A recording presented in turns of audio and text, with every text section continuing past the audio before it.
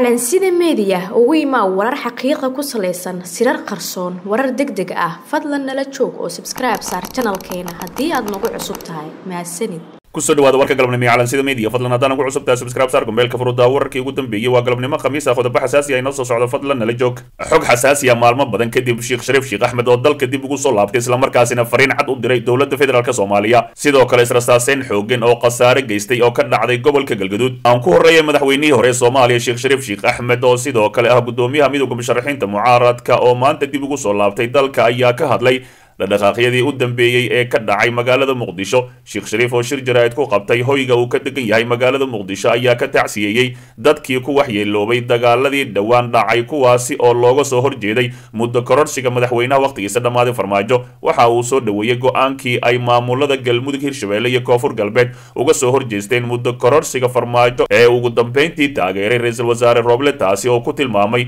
mid wakhtigii loo baahnay timid waa in aan maskaxda ku haynaa mar walba inaysan suuragal ahayn in xaaladdu ay sidaan sii ahaato. Waa xaalad khatar ah oo aan isfiirsan karin loona baahan yahay in si wadajir ahi looga wada shaqeeyo waxaan rajaynayaa in baarlamaanka fahmeen wixii laga digayey inay sax ahaayeen. Markaan waxaan leenahay mas'uuliyaddiina qaata ayuu yidhi sheekh shariif sheekh axmed sida ugu dhaqsiyaha badan waa in laga wada shaqeeyo sidii doorasho loo aadi lahaa iyada oo culayska laga qaadayo magaalada oo laga wada shaqeeyo. Soomaaliya maanta dagaal uma baahna ee waxay u baahan tahay dowladnimo la wada leeyahay. Sidoo kale waxa uu si gaara uga mahad celiyey ra'iisul wasaaraha xilgaarsiinta doorka uu ka qaatay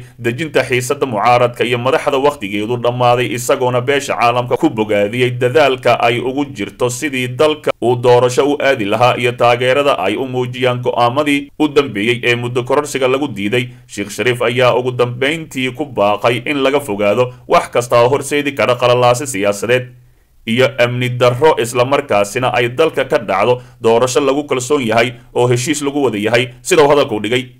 si kastaba ha ahaatee maalmihii qalalaasaha u ka dhacaya magaalada muqdisho sheekh shariif sheekh axmed ayaa dalka ka maqnaa islamarkaasina maanta ayuu dib ugu soo laabtay. Dhinaca kale israsaaseynta oo geystay khasaare kala duwan ayaa waxa ay xalay ka dhacday deegaanada xanan buure ee gobolka galguduud halkaasi oo dhowr jeer ay ku dagaalameen laba maleeshiyo beeleed oo dhul isku haysta israsaaseynta ayaa waxaa timid kadib markii maleeshiyaadka ku sugan deegaanka ay rasaaseeyeen gaari ay ka shakiyeen waxaana ku soo baxay ciidamo ka tirsan dowladda kuwaasi oo maleeshiyaadka ku amray inay hubka dhiibaan balse ay diideen waxaana taasi ay keentay in ciidamada dowladda iyo maleeshiyaadka ay dagaalamaan labaduba. Wararka la helaya ayaa waxa ay sheegayaan in israsaaseynta ay ku dhaawacmeen laba qof oo rayid ahi kuwaas oo ka mid ahi dadka deegaanka balse uusan jirin wax khasaare ahi oo soo gaaray. Labada dhinac ee dagaalamay mid ka mid ahi dadka ku nool deegaanka xanan buure ayaa sheegay in qaar ka mid ahi odayaasha dhaqanka deegaanka ay ku soo baxeen labada dhinac ee israsaaseeyey islamarkaasina xaaladda saaka ay degan tahay. Deegaanka xanan buure ee gobolka galguduud ayaa dhowr jeer waxaa ka dhacay dagaal u dhexeeya laba maleeshiyo beelood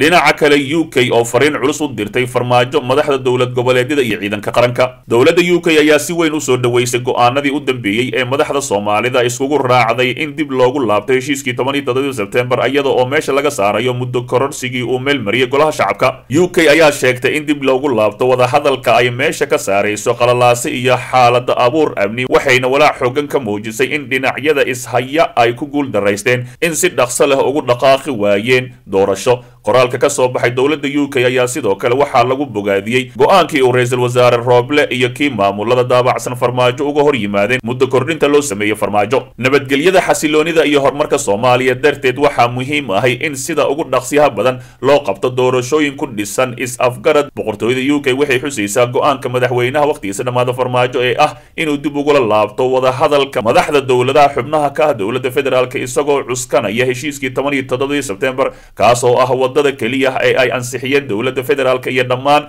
dowlad goboleedyada dalka ka jira. Waxaan hadda ugu yeeraynaa madaxweynaha iyo madaxda dowlad goboleedyada xubnaha ka ah dowladda federaalk inay si deg deg ahi u wada hadlaan weliba wada hadal. Shuruud la'aan ahi waa inay yimaadaan iyagoo diyaarsan si ay u sameeyaan tanaasul lagama maarmaan ah. Sidoo kale waxaa qoraalka boqortooyada u k baaq adag loogu diray ciidamada soomaaliyeed si ay uga waantoobaan ka qayb noqoshada rabshado horseeda iyo ammaan darro islamarkaasina ay xoogga saaraan dadaalkooda ku aadan la dagaalanka argagixisada. Fadlan dib u daaw wararkeenii hore ee calansida media. Xog xasaasiya madaxweyne xasan sheekh maxamuud oo mar kale digniin ka soo saaray arrimaha ciidamada islamarkaasina fariin cad soo diray. Madaxweynihii hore soomaaliya mudane xasan sheekh maxamuud oo u waramayay wariyayaasha ayaa mar kale ka hadlay xaaladda siyaasadeed ee dalka gaar ahaan muranka doorashooyinka iyo arrimaha ciidamada. Xasan sheekh maxamuud ayaa sheegay inay marar badan ku celceliyeen digniinta ku aadan in aan la siyaasadeynin ciidamada balse la arkay wixii dhacay sida uu hadalka u dhigay sidoo kale musharax madaxweyne xasan sheekh maxamuud ayaa sidoo kale ugu baaqay ciidamada inay iska diidaan wax kasta oo ka hor imaanaya dastuurka dalka. Anigu dhowr jeer waan ka digay in la siyaasadeeyo ciidamada waana aragteen wixii dhacay waxaana ku mahadsan ciidamadii diiday in loo adeegsado wax aan dastuurka ogolayn waxaan ugu baaqayaa ciidamada inay iska diidaan wax kasta oo ka hor imaanaya dastuurka dalka madaxweynihii hore ee soomaaliya. Xasan sheekh maxamuud ayaa sidaas yidhi waxaa kale uu intaasi ku sii daray in muhiim ay tahay in wax waliba lagu dhammeeyo miiska wadahadalka islamarkaasina laga wada tashado aayaha dalka iyo badbaadintiisa. Hadalkani ayaa ku soo aadaya iyadoo muqdisho ay ka dhaceen dagaallo u dhexeeya ciidamada dowladda iyo kuwa kale oo ka hor yimid muddo kordhinta labada sano ahi ee loo sameeyey madaxweynaha wakhtigiisa dhammaaday maxamed cabdilaahi farmaajo asigoo habeen horen khudbad halkaasi ka jeediyey waxa uu sheegay inuu sabdiga la kulmi doono. Warar ayaa sheegaya in xilka loogu xayuubin doono rooble hase ahaatee lama oga wixii dhici doono. Dhinaca kale adeerka ra'iisul wasaare rooble cabdi qaydiid oo digniin culus u diray guddoonka baarlamaanka xilli uu socdo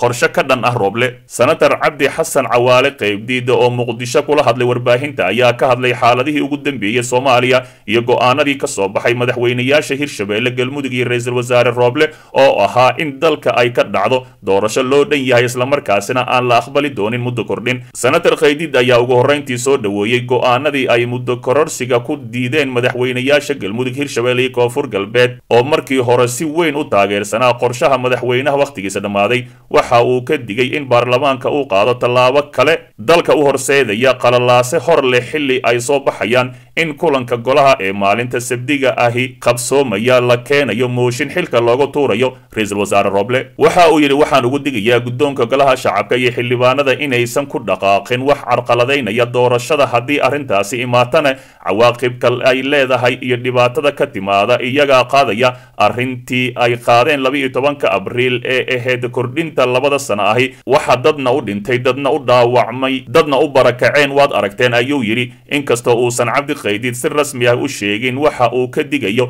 inay tahay xilka qaadista la hadal hayo iyo in baarlamaanka uu ku sameeyo ra'iisul wasaare rooble maalinta sabdida ahi. Haddana waxaa la rumaysan yahay in ujeedka hadalkiisa uu yahay in baarlamaanka uusan isku dayin inay xilka ka qaadaan ra'iisul wasaare rooble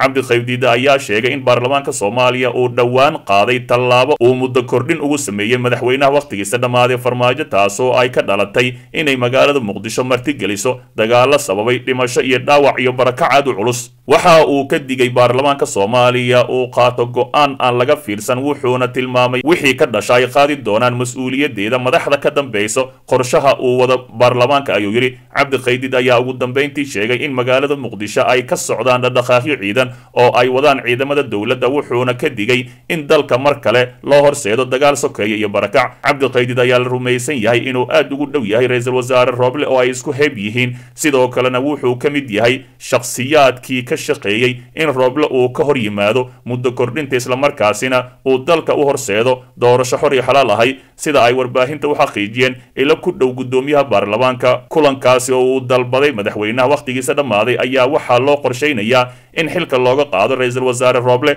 hase ahaatee gadaal dambe ayaa waxaa la leeyahay guddoomiye mursal waa uu beeniyey. Xogtan ayaa sidoo kale waxaa laga soo xiganayaa qaar ka mid ah xildhibaanada oo iyagu isla wadaagaya qorshaha uu guddoomiyaha hor keeni doono xildhibaanada si mawjad cusub uu dalka u galo dhegaystow ogow haddaadan xalka qayb ka noqon waxaad qayb ka tahay dhibaatada dalka